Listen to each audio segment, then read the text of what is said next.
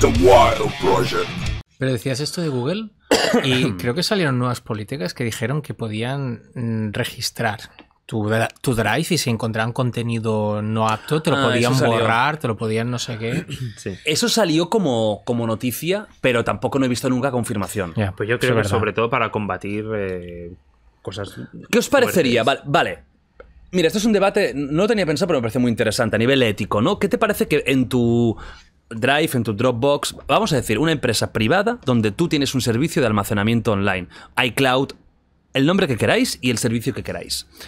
Que tú ahí tengas cosas ilegales metidas. Pueden ser pornografía infantil, eh, direcciones con páginas de la Deep Web de venta de drogas, ah, mm, yo qué sé, mapas en PDF de bancos que vas a querer atracar, mm, nombres de gente que quieres robar. Lo que queráis. Ya, ya, ya. No vayamos solo a la pornografía infantil, Sí, sí, que es que es típico que viene primero, pero muchas cosas. ¿Qué os parecería que hubieran bots que buscaran en tu cuenta privada y de ahí no tan solo entiendo que ah, te lo borraran, sino también a lo mejor te denunciaran? Claro. Salva, ¿qué te parece esto? Buah, es, es- es un límite difícil, ¿eh? Porque, hostia, si tú tienes un espacio de estos que tienes almacenes, ¿no? Y tú tienes armas ahí, claro, en teoría no lo saben. Pero si algún día lo supieran, ¿qué, qué pasaría? Que te- denunciarían seguramente, y vendría Guardia Civil o quien sea. Y en este caso, claro, si vamos a lo más grave, yo te digo, hostia, sí, me parece bien, pero el límite es, es difícil de... Sí, me pueden chapar la cuenta y denunciar porque tengo unas ROMs de videojuegos, por ejemplo, ¿sabes? Mm. Claro, es ilegal. Es ilegal. Y y es raro que hay muchas páginas abiertas. Me acuerdo de la selva del camaleón. Sí, pero ahora se las están cargando, ¿eh? Se las están Cada vez está más complicado. Sí, pero que antes el- el, eh, los juegos de ROMs clásicas no había problema porque no había esto que. No había el negocio. Exacto. Na- eh, tú- a Me- Mega Drive jugaban los que nos gusta mucho eso, punto. Pero claro, ahora con reediciones, remakes, Juegos remasters, en los servicios. juegos en sí, servicios, sí. claro. Claro, es, es difícil de calibrar. Ujú. Porque desde el otro lado, si tú eres una empresa privada que tienes capacidad de saber, de rastrear lo que hay, y hay un delito, puedes hacer la vista gorda. Apple, por ejemplo, eh, ponía muchísimas pegas cuando se tenía que entrar en un móvil en un crimen. Tú imagínate que eh, yo he desaparecido o eh, soy el sospechoso de haber matado a X. Y una de las pruebas es entrar en mi móvil. Creo que Apple, no sé si ha cambiado eso, pero daba muchísimas, bueno, no daba ninguna facilidad para acceder al móvil. Es decir, la intimidad de uno es la intimidad de uno, aunque ahí dentro haya fotos de seis cadáveres. Creo que llegó a cambiar eso. Alguna ley de Estados Unidos que les obligaba a, en caso de investigación criminal, tener que eh, desbloquear el teléfono. Jorge, lo mismo. ¿Qué opinas de que haya un rastreamiento? Mm, 100% estoy a favor, de- Favor. del rastreamiento, porque tú estás usando un servicio.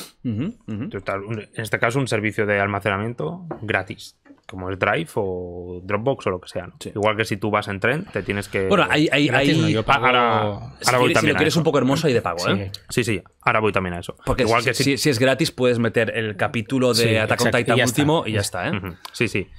Eh, O dos ROMs de Super Nintendo Y poca cosa más. Por eso pago dos teras yo para... para tener ahí los, Para los de- tener ahí- las delincuencias. No, al final eso, ¿no? Tú estás usando un servicio y te tienes que acoger a lo que. eh, pues a la ley o a las condiciones que te da la empresa, ¿no? Eh, y si no, te- es que de hecho ya. Y si no te lo montas tú, o sea, si no te pagas tú un servidor o te montas tú unos discos duros Sí. y, te, y te lo Sí, haces. sí, que de claro. hecho es lo que hacemos en el trabajo. Nosotros Con la delincuencia que hacéis, claro. Claro. Claro. Eh, todo el tráfico que tenemos lo, lo ponemos en el servidor de, de la universidad. Claro. No, eh, de verdad lo, lo hacemos así. No, no publicamos, no metemos ningún dato que pueda. Simplemente para que otro investigador de otro lado lo coja y lo publique antes que nosotros, ¿no? No, no es nada súper secreto. Pero nosotros lo hacemos. La universidad tiene su el departamento tiene su servidor y todo está ahí. No ponemos nada en Drive ni nada en servidores de. Pero entenderías que, que, que tuvieran sus propios Yo, yo estoy a favor por eso, porque tú estás usando un servicio Hmm. y igual que cuando tú vas en tren no te tienes que acoger a las condiciones de, pues de ir en tren, lo mismo me parece en, en Drive. Y no, y no veo... Y al final es que es una empresa, no, no veo que tengan que respetar nada, ni, ni que haya ningún conflicto moral Mm. en desvelar la información que tú les has cedido a ellos. Pero podría haber una empresa que sus condiciones fueran que si en orden judicial no se rastrea nada. Sí. Sí, sí. ¿No? Mm. A ver, lo que has dicho tú es muy interesante. Si tú tienes alquilado un almacén, el propietario tiene derecho, si quiere un día, entrar para ver en qué condiciones está el almacén. Sí. Seguramente, ¿eh? A no ver, sé, no sé. ¿eh? Yo cuando he alquilado... Hablamos de un almacén físico. Sí, sí, un almacén de verdad. Sí, sí. Físico. Y cuando he alquilado una casa, el propietario ha podido entrar. Claro. Sin avisar, no. Hmm. Pero con un aviso, oye, tal, porque, porque al final es propietario y imagínate que cree que hay desperfectos o lo que sea, ¿no? Yo, por ejemplo, acabo de firmar un contrato de alquiler ahora y, me, y una de las De cláusulas tu mansión en Andorra, ¿no? Eh, sí. que no puedo eh, realizar actividades peligrosas o que...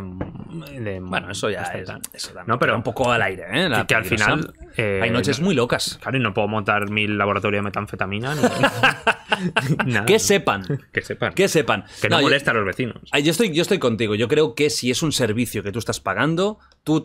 Yo, de hecho, me extrañaría que en los servicios, cuando tú firmas, bueno, firmas, digitalmente aceptas, no haya cláusulas que digan que tú no puedes eh, guardar algo ilegal ahí. Me extrañaría mucho. Sí. O sea, me, me- me- me- causaría mucha extrañeza que no hubiera una cláusula que pusiera eh, Sí, sí, seguro. eh, cualquier mm, contenido ilegal no se puede alojar aquí, etcétera.